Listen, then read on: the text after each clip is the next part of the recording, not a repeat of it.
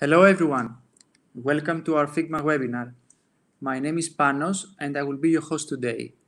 Together with us, we have Maya, our head of product, and Thanos, one of our engineering managers. Let me quickly go through our agenda. Maya will discuss how our Figma plugin can accelerate your localization workflow. Thanos will do a demo to show us how the plugin actually works.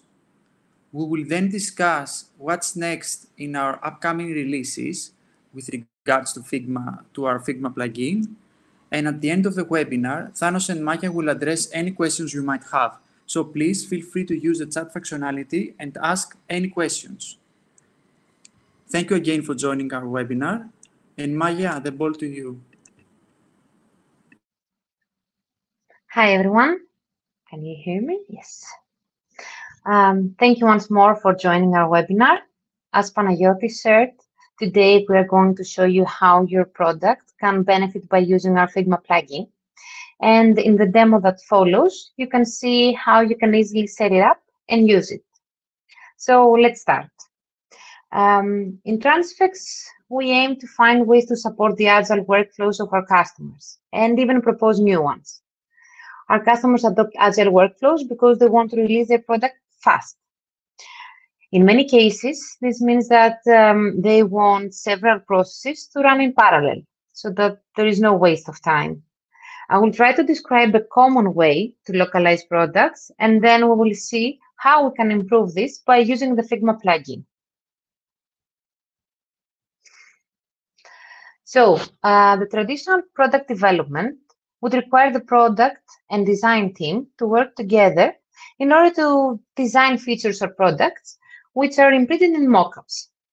Then these mockups would be passed to the engineering team in order to start the implementation. When the implementation is done, the engineering team generates a file with the source content, which is sent to a translation management system like Transifex in order for the localization to start. In companies that value quality, the engineering team will also provide screenshots of the feature in order to have context when translating.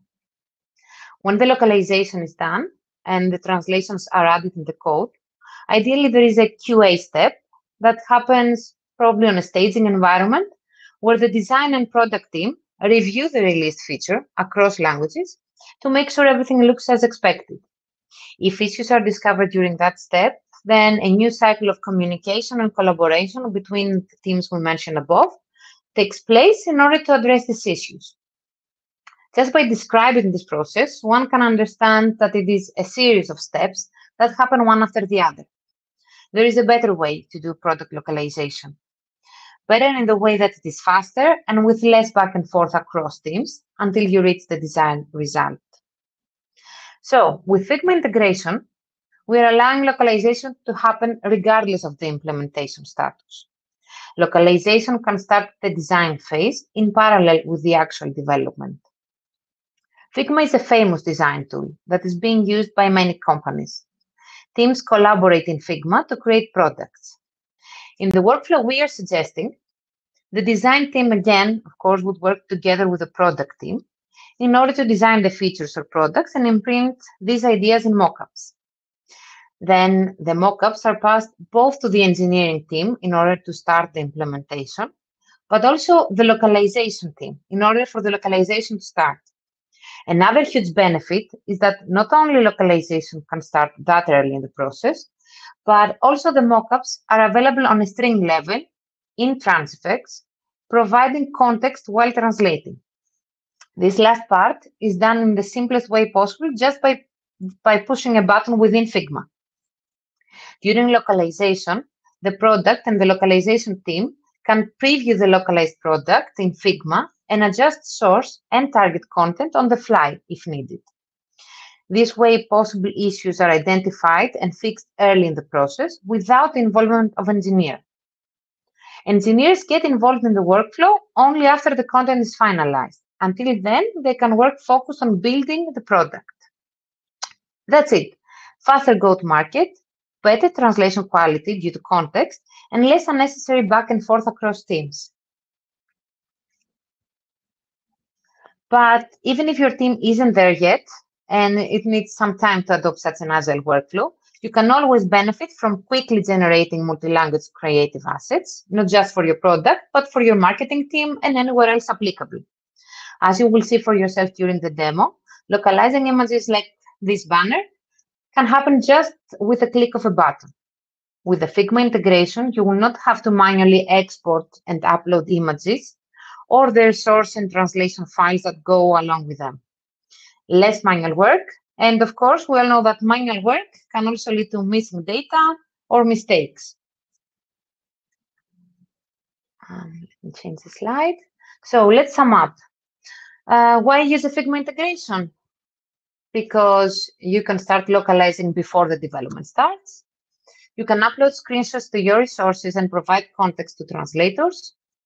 You can localize your mockups and preview them in different languages. And you can quickly generate the multi-language creative assets like marketing banners. So let's see Figma uh, in action. Thanos um, will present how to set things up and connect Figma and Transifex, how to send content from Figma to Transifex, how you can bring back your translations to Figma, and in the end, how you can sync the source and target content with the code. So I will pass the, the screen sharing to Thanos. Thanks, Maya, and hello everyone again. Give me just a moment to share my screen.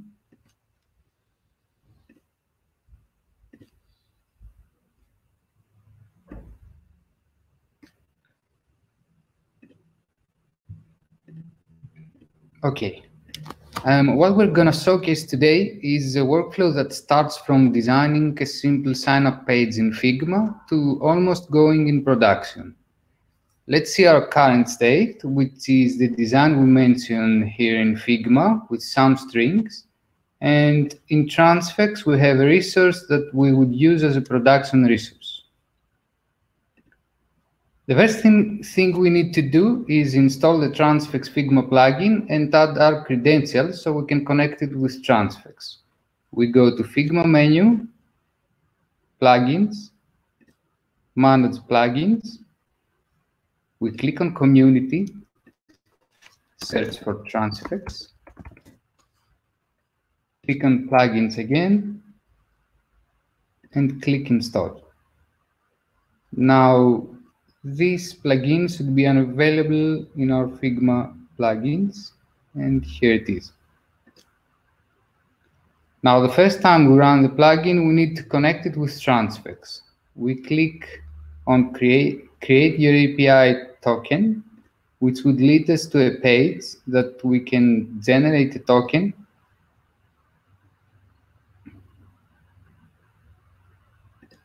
copy it since we won't be able to see it again.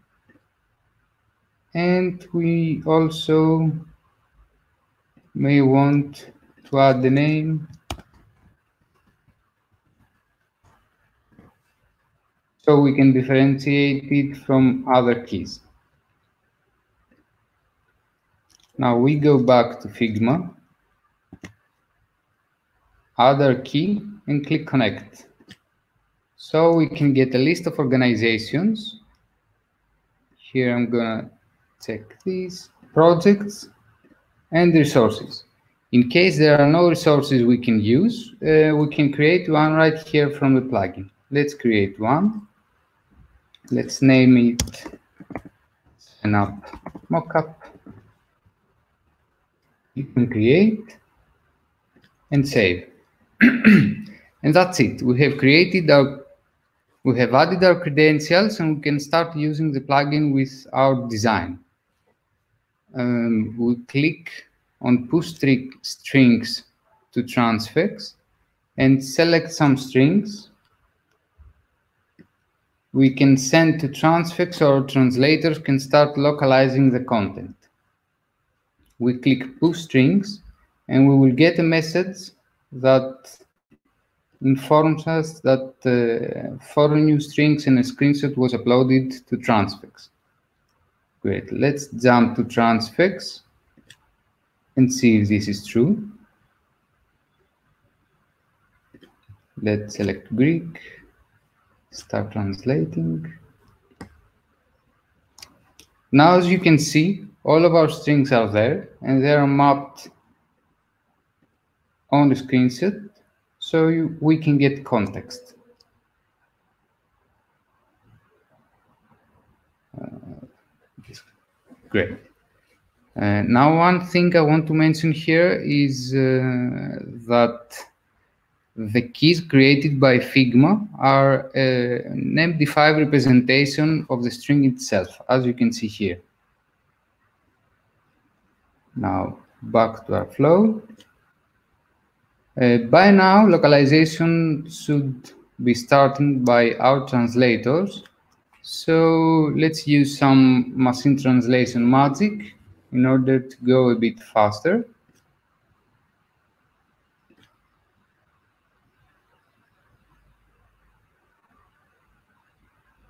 And review the strings in order to add them in translation memories, and this is going to help us later in the process. Let's go back to Figma and see what we can do now that we have some content localized. We will go to Pull Translations tab, select the language we want, and click on Pull. What happened right now, as you can see here, is that our plugin created some new pages with our content localized. Now we can do some QA and see if something needs to be changed. Maybe we can decrease the font size or even change the text. So what we have accomplished so far is send content to Transifex, get translations, and do our QA without any work from our engineers. But when do our engineers start working and using our strings? Uh, well, now that we have already uploaded and translated our content, we can utilize translation memory and fill up our main resource file.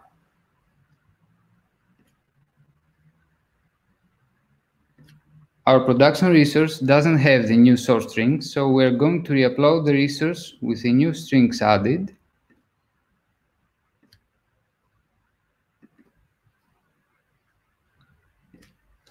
And we should see that translations are filled automatically. As you can see here, everything is translated. Now, what this means is that engineers can download the file and work on their code without having to go back and forth for localization. So this new sign-up feature should be fully localized when it gets to production. And that is our simple but powerful flow. So I'm gonna stop sharing now and back to you, Maya. Thank you.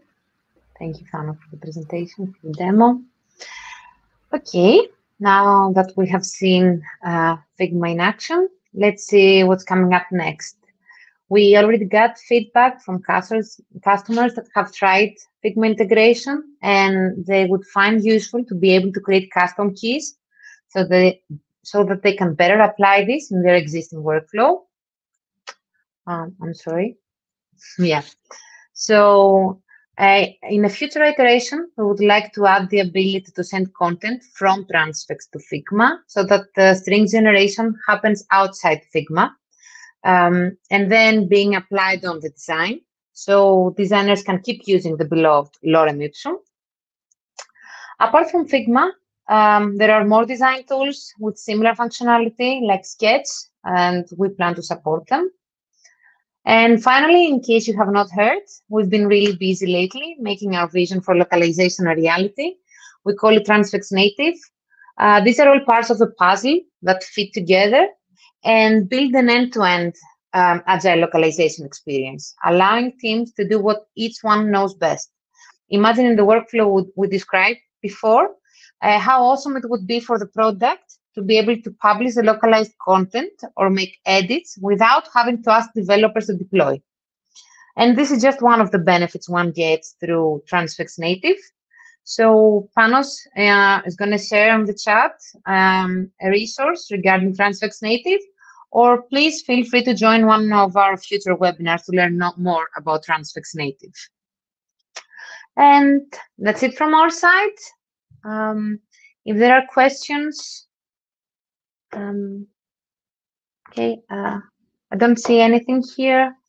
Uh, maybe give a few seconds um, in case somebody is thinking or typing right now. I guess not. Um, there are a lot of information in our documentation regarding Figma, Figma integration. Uh, Panagiotis has also shared um, how you can get um, your trial. Panagiotis, is there anything that you would like to say, or we No, can say we are we are fine. Yeah. So thank you again, everyone, for joining today's webinar. You will shortly receive uh, the webinar recording uh, together with all the other information, and we hope to see you again in our future webinars. thank you for joining us, everyone. Bye.